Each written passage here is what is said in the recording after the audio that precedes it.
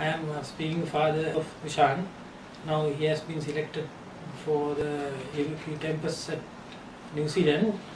Now I also he acquired visa. Uh, the, all the things are done by the Worldwide Visa Agency Ratmalana with uh, free of charges. Uh, ultimately, now he got the visa, uh, and it, it is admirable. Also, I make this chance to thank for Miss she also. Then uh, the whole staff in this institute is getting the my thanks uh, on this occasion. So I success this institute more and more. I wish a good institute. Uh, that's all. Thank you.